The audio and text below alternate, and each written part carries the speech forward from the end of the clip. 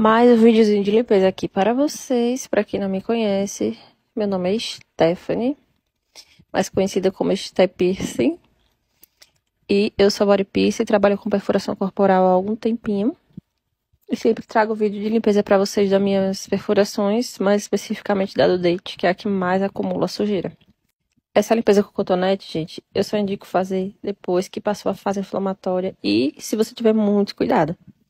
Eu limpo assim depois que eu lavo o cabelo, porque é o tempo que meu, minha perfuração fica mais tempo em contato com a água. Vejam que tem até restinho de sabão. Então, depois da. Quando eu lavo meu cabelo, eu vou removendo todas as casquinhas que já estão bem molinhas. Não sai sangue, não dói, porque tá tudo bem molinho.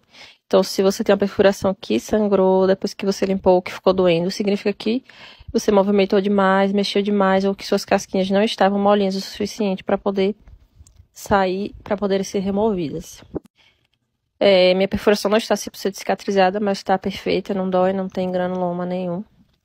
E essa minha perfuração do escarpa é uma perfuração recente, mas que também não tem me dado trabalho não. Já bati nela algumas vezes, mas tudo bem tranquilo. No dia seguinte já tá tudo certo. E eu já tive problema assim com meu piercing no date, né? Eu perfurei ele com a joinha cirúrgico, que era mais pesada, e certo dia, quando eu bati, né? Ela machucou bastante, formou um granuloma enorme, mas troquei de joia, cuidei e tá assim, depois de pouco tempo. Mais um videozinho de limpeza para vocês e eu sinceramente não sei se eu tô vivendo ou esperando um dia do meu dedo cicatrizar. Como vocês sabem, a minha cicatrização é lenta demais.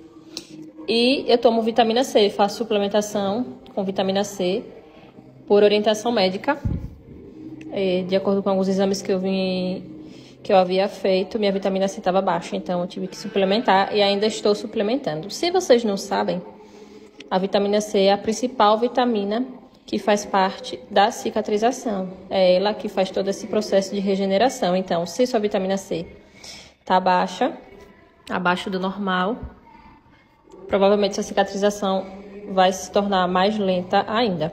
Nosso corpo por si só, ele já cicatriza não precisa de medicamento, de nada demais, só higienizar e manter o piercing quietinho, sem muito atrito e pancada. Mas se sua cicatrização for lenta e sua vitamina C estiver baixa, esse processo aí vai demorar bastante.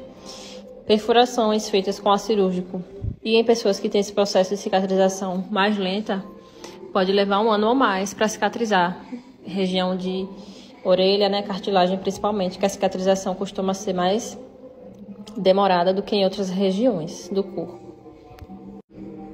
E outra curiosidade para vocês: toda perfuração ela inflama, certo? Inicialmente, por conta do trauma, é normal inflamar, mas infeccionar não é normal. Por isso que a gente faz todo esse processo de limpeza e por isso que a inflamação ela acontece já para evitar uma inflamação, uma infecção mais grave. Então é normal, é natural que a perfuração inche, fique avermelhada nos primeiros dias, de acordo com todo o processo que você fez, né? De acordo com esse trauma. Então é super normal. E aí fique com o meu dente limpinho. E é isso. Mais um videozinho limpando meu dente. E esses dias eu fui coçar meu dente acabei machucando aqui uma casquinha e sangrou bastante. Por isso que vocês vão ver vestígios de sangue aí nessa limpeza, mas também foi só isso. É, pra quem não sabe, não me acompanha e tá vendo esse vídeo pela primeira vez, essa é uma perfuração no dente com agente titânio, atualizei para titânio. Eu sou profissional da área e minha perfuração não tá 100% cicatrizada ainda. Eu limpo quando lavo o cabelo, que é o tempo que meu, minha perfuração fica mais tempo em contato com a água. Lavo com sabonete neutro líquido. Depois faço a remoção das casquinhas quando elas estão bem molinhas e já aproveito para dar uma secada.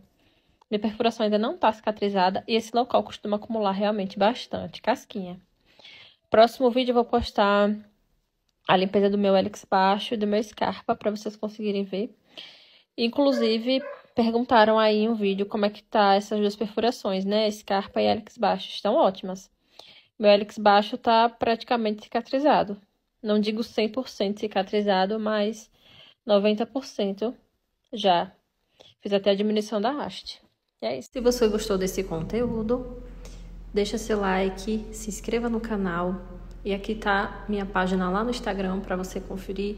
Lá eu interajo muito com vocês, dou dicas, tudo sobre perfuração, piercing, tem foto, vídeo de projeto, vídeo de procedimento. No Instagram eu consigo interagir mais com vocês, então se você gostou desse conteúdo, vai lá no arroba. Temos também o TikTok, arroba Segue para